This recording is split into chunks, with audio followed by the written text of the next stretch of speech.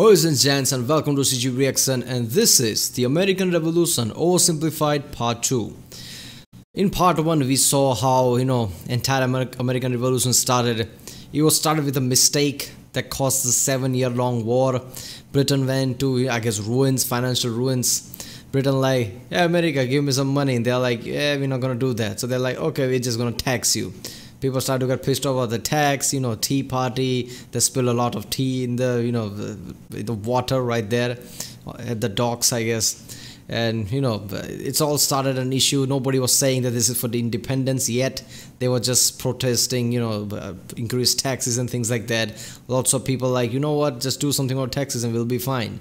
But slowly you know pamphlets were you know given around you know best selling uh, novel or whatever at the time that said you know freedom is inevitable or something like that. I don't remember.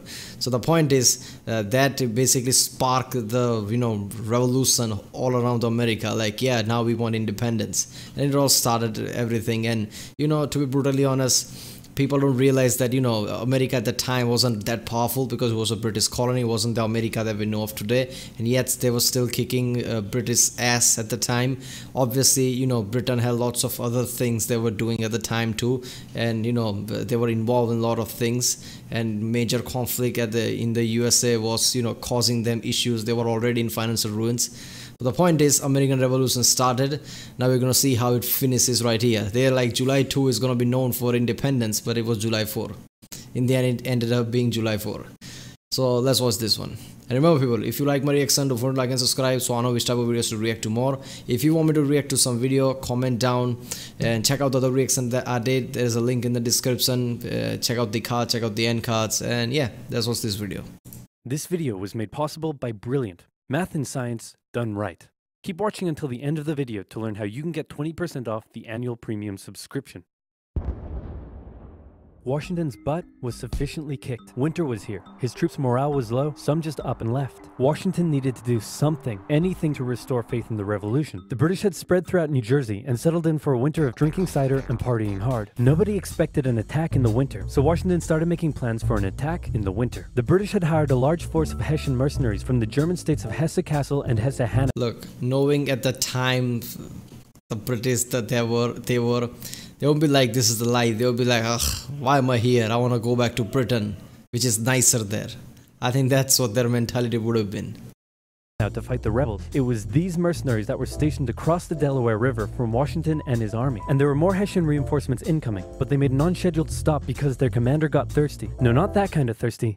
That kind of thirsty. Oh. It was Christmas oh. Eve with a blizzard outside when Washington heard the Hessian defenses were down and he decided to attack. He made a perilous crossing of the icy Delaware River with 2,400 men and marched 9 miles to Trenton where he caught the Hessian forces completely off guard. After a short but fierce battle, the Hessians surrendered in droves. It was a much needed victory that sent a clear message not only to the British but to Americans across the colonies. The war was far from lost. General Cornwallis led the British forces south to counterattack the Americans. I mean, that was the important thing during this time. The morale of the people was key important because, like I said, at the time, British, I mean, going against the British is just stupid. And especially a British colony like America, that's not even a proper country yet, let alone being that powerful. Going against the British like that, people were already like, why are we doing this? This is going to end badly and things like that.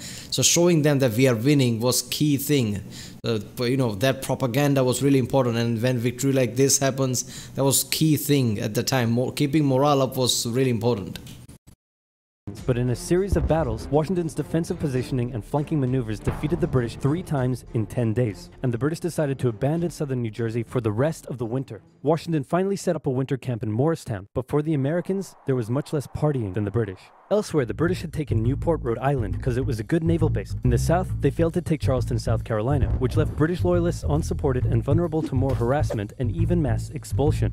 Congress sent Benjamin Franklin to France on a mission to convince them to join the war, and while the French generally loved any opportunity to hoodwink the Brits, they didn't want to join unless it was a sure win. So for now, Franklin spent his days chilling out and chasing tail. The British Parliament couldn't believe the war wasn't over yet, and the pressure was on to end it. So the British came up with a plan General Burgoyne in Montreal and General William Howe in New York would advance through the Hudson Valley and meet in the middle, splitting the colonies in two and thus screwing over the American communication lines. Burgoyne began his movement south, and after taking Fort Ticonderoga quite easily, he then came across heavy American resistance, so he sent Howard Dingle Dongle asking if he'd be showing up anytime soon. Meanwhile, Howard completely abandoned the plan and gone for all out personal glory by capturing the American capital, Philadelphia. He defeated Washington and his army at Brandywine Creek by using the old hit him with a decoy and flank him from behind tactic, and Philadelphia was now in British hands, forcing Congress to escape to York. But Burgoyne was left on his own to face the ever-increasing American force in Saratoga.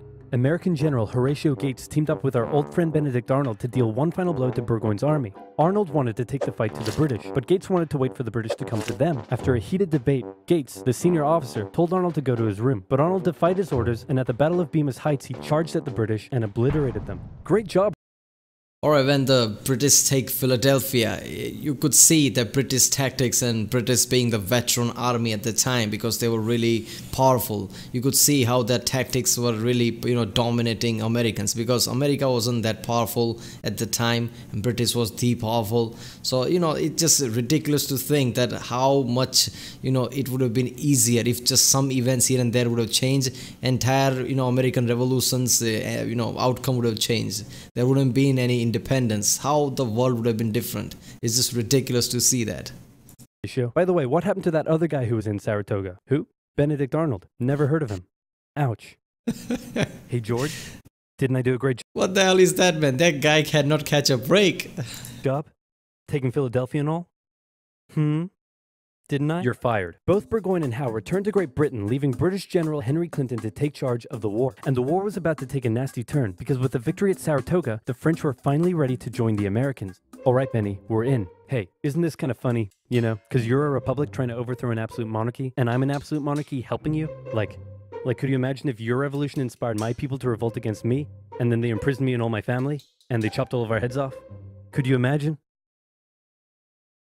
That's called foreshadowing. Yeah. For now in America, winter was here once again, which meant yet more disease, more starvation, and even a little mutiny. After losing Philadelphia, Washington's job was again on the line, but suddenly, a Prussian guy with a very fancy name, hired by Benjamin Franklin, showed up out of nowhere and said, Hey, I'm here to give your men a European military training. And train them he did. They learned how to shoot accurately, how to march in formation, where to poop and where not to, and strict punishments were handed out to any who didn't comply. Washington's army came out of the Washington personally did that. Was that a montage? Because I feel like there should be a montage there the winter in 1778 a new and improved force, ready to take Philadelphia back from the British. In the end, though, they didn't have to. With the French entry into the war, the British ordered General Clinton to evacuate Philadelphia and consolidate all of the British forces in New York. So Washington sent Benedict Arnold to reoccupy and secure the city as he pursued the British through New Jersey on land, eventually finding a good opportunity to attack at Monmouth Courthouse. The battle took place on a sweltering hot summer's day, and as many soldiers died from heat stroke as they did from battle. In the end, after some incompetence slash borderline treason from Washington's second in command, it was a draw.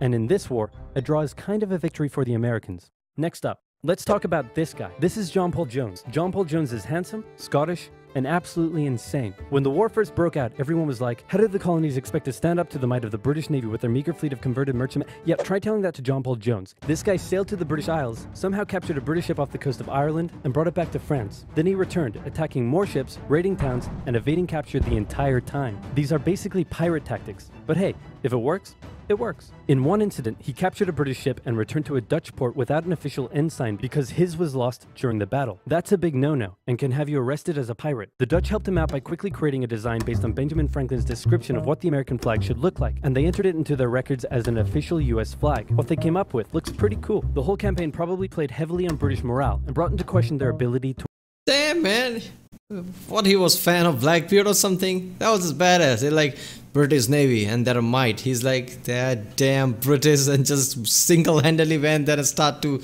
man. That's ridiculous. Going to their home turf there. You know they were really powerful in naval in Brit- British and they, they just he just went there. He just went in their face, stole a ship and did all that. Damn, that's so powerful. That's so badass right there to win the war. And fun fact, he was so cool that one of the towns he raided in 1778 gave him an official honorary pardon in 1999. Keep ripping in heaven, John Paul Jones.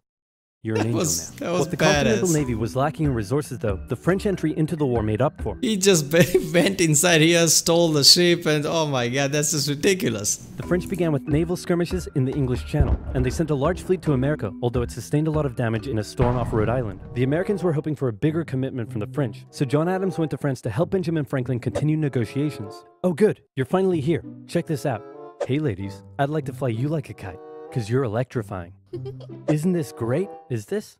Is this what you've been doing? Yeah, why? We were sent here on a diplomatic mission to secure military support from France, not to philander with the locals. Wait, no, ladies, come back. Worst wingman ever. But the Americans would get some more help. The Dutch provided aid, although they never formed an Wait a minute, is that just a joke by oversimplifier, or is that what actually he was doing there? Because I feel like that could be actually true. That's what he was doing there. official alliance. More significantly, though, the Spanish, who had already been providing aid, officially joined the war in June 1779. They would provide support in the Midwest and the Gulf Coast, campaigns that heavily impacted the Native American tribes in those areas. Both sides actually enlisted the help of Native American tribes throughout the war, sometimes even pitting those tribes against each other. In the summer of 1779, after a series of raids against the Americans by the Iroquois, Washington organized an expedition that burned down more than 40 villages, forcing the tribes to relocate to Canada for British protection. And another group that shouldn't go unmentioned were African Americans, both free and enslaved. They joined both sides of the war, hoping to gain their freedom. But afterwards, many were simply returned to slavery, particularly those who had fought for the Americans. Despite owning slaves himself, Jefferson had written a condemnation of slavery in the Declaration of Independence, but out of fear of offending the southern colonies, this was removed from the final draft. For the same reason, I mean, this is the time where people start to have the thought like we are talking about independence here. We are talking about being free, being a free man, and we have slaves here. I mean, some people will start to have that question in their head. This is slowly what it sparked on the line. The American Army stopped enlisting African American men in 1775, a policy that Washington, a slave owner himself, supported, but they were forced to reverse the policy after the British promised freedom to any slaves who joined them. In general, you stood a better chance of gaining freedom if you fought for the British. However, even those that left with the British after the war suffered mistreatment and discrimination in their new lives outside of America. Our good friend Benedict Arnold is now in charge of Philadelphia, having a good time, partying down with, and even marrying a member of the Philadelphia elite. The same elite that had partied down with the British when they controlled the city. And suddenly, the people of Philadelphia, including the state governor, started accusing Arnold of having pro British sentiments. To keep the people happy, Washington wrote a letter rebuking Arnold, calling his conduct imprudent and improper, and that was too many ouchies for Benedict Arnold to handle. He asked Washington to put him in charge of the fort at West Point. Then he contacted the British, offering to hand the plans of the fort over to them and join their side. Our good friend Benedict Arnold is our good friend no more. Luckily, the treason I mean, come on, man. Really, you can blame him. He was mistreated from the start. He tried, wanted to do something, and they're like, Benedict Arnold. Who Benedict Arnold? So you know, I mean, you can't really blame him. Then again, this is not the time to flip side, is it? business plans were discovered on a captured British officer, but Arnold managed to escape before he was arrested. As a British brigadier general, he would go on to lead raids against American cities, most notably his raid of Richmond, Virginia in 1781. His betrayal shook George Washington, who had once again set up camp at Morristown. His leadership somehow held the Continental Army together through the harshest winter of the war. Oh, We're entering that's sad. 1780, and Parliament was hopping mad that the war still wasn't over. The British debt was soaring, and despite taking parts of Massachusetts in late 1779, the North was in a stalemate. So the British decided to make a major shift in strategy to the South, an economically rich area with a higher level of support for the British, or so the British thought. A year earlier, they had captured the underdefended city of Savannah, Georgia easily, and a joint American French counter siege failed. Now, they laid siege to Charleston, South Carolina. It fell within months, with thousands of American troops surrendering to the British, a costly defeat. The British quickly moved to take control, and they sent stereotypical Hollywood villain with a British accent Banastre the Butcher Tarleton into the backcountry where he hunted down rebels and destroyed them with ruthless brutality. The British presence also inspired local loyalists. I mean, let's be honest, psychology was also one of the points of the war. So, you know, sending people like that, even if they're not effective in the field that much, their psychological warfare alone would be enough to win the war, I guess. Win the battle, whatever. militias in the backcountry to rise up against their persecutors. The British really seemed to be onto something with their new strategy, and the ball was very much in Washington's court. I'm gonna send my most loyal general, Nathaniel Greene, to the south to stop the British. Gonna have to overrule you there, George. We're sending Hero of Saratoga and your biggest rival, Horatio Gates. Watch this, George. I'm gonna save the day again. Everybody will love me, and I'm gonna get your job. Here I go. And he got into one battle with Cornwallis, got annihilated, and ran away. Alrighty, let's go with your guy. Nathaniel Greene knew the British outnumbered his own forces and wouldn't be defeated with conventional tactics, so he had to think outside the box. He split his army into two, said, Hey big boy, look at me, and then they went running in two different directions. Cornwallis sent Tarleton after Morgan, and he caught up with him at Cowpens, where Morgan proceeded to kick Tarleton's butt. Then the two led Cornwallis on a wild chase through North Carolina, his bigger and better equipped army much heavier and slower than Greene's quick and mobile troops. Greene led Cornwallis further and further from his supply line, then crossed the Dan River into Virginia, picked up some reinforcements, and turned back to face the now exhausted British. At the Battle of Guilford Courthouse, the two sides That is awesome, man. close That was an awesome tactics. He literally lured them in, you know, get into his territory, reinforced, and that's it.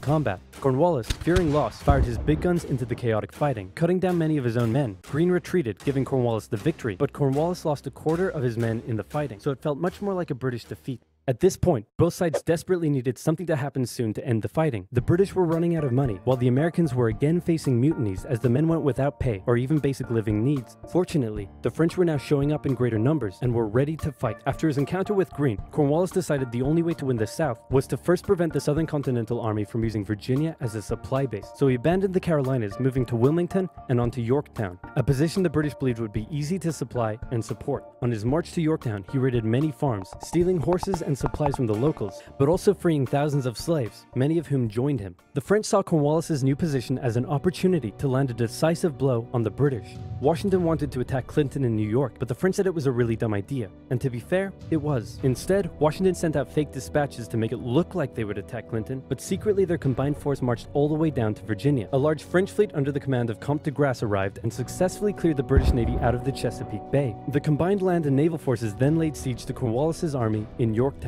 The American and French forces tightened in around the city, raining artillery down on Cornwallis, who desperately Yeah, deceivements, decoys, and smokescreen are really helping the Americans here. That's a great tactic they are using against British because that is the way to fight. when You know, going against uh, some stronger army like you know British have. appealed to Clinton for aid, but Clinton was unusually chilled out about the whole thing. Cornwallis held out for nearly a month before he had no choice but to surrender. Over 7,000 British troops were captured, a crushing defeat. And with that, Parliament had reached the end of its rope. The war just wasn't worth it, and it needed to end now. The British still held New York, Charleston, and Savannah, but fighting between the two sides mostly ceased as peace negotiations opened up in Paris. The resulting treaty in 1783 saw Great Britain remove its troops from American soil, recognize U.S. independence, and cede territory up to the Mississippi River. In return, the Americans agreed to pay any debt still owed to Britain and gave fair treatment to any colonists who had remained loyal to the crown. The Spanish got Florida, while the French got an economic crisis that led to its own revolution a decade later. Washington retired to his home in Mount Vernon, wishing that's that's amazing. French helped the Americans, and they you know they didn't got nothing in the return and had the you know uh, had to force the revolution because of all the economic collapse.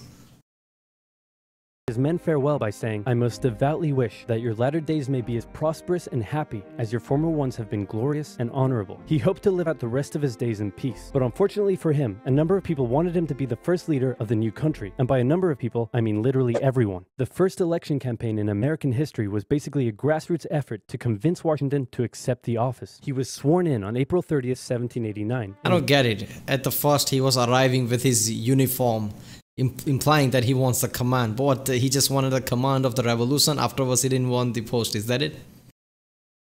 Because at the first, it seemed like he wanted to lead, but I guess he just wanted to lead the you know revolution. That's it. He himself established many of the standards and limitations of what the American leader should be. First of all, there was debate on what he should be called. Is he a king? Is he our glorious leader? In the end, they went for a word that at the time was pretty modest. President, like the president of your local bowling club or office bake sale committee. He set up a cabinet of expert advisors knowing that No, no- it's not that. It's just that he's not a ruler, but he's a president. He sets the precedents for people. I mean, that is a pretty important role, but he's not some monarch, I guess.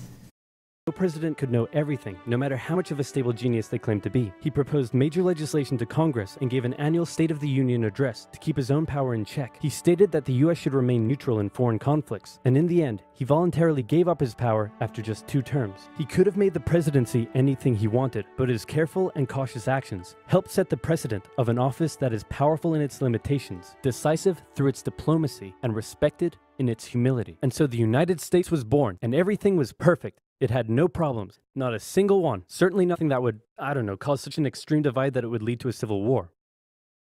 Nothing Anyway, like that. moving on. Quick quiz.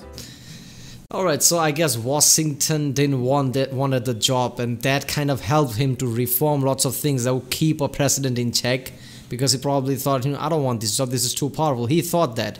He thought that you know, president could get you know uh, out of hand, and you know he could become a, like a king-like figure. So he did all the reforms to keep him in check, and that that that is crucial, I guess.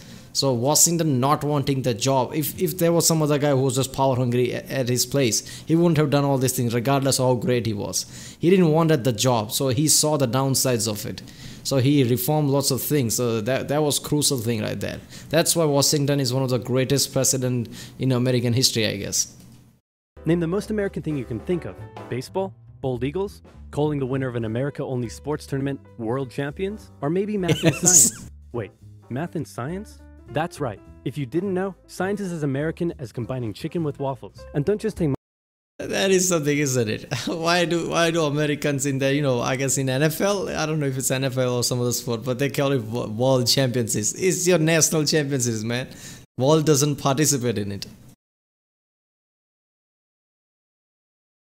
There, people go to brilliant.org forward slash oversimplified and support that channel. Oversimplified is great. I love it. Of all the channels I react to, Oversimplified just stands out. I don't know why. It's just great. That's why he's really famous. I mean, whenever he uploads, he's trending top three or something. This was really good. I'm gonna react to more oversimplified now. I don't know how many I reacted before, but I deleted lots of videos, so I don't remember it.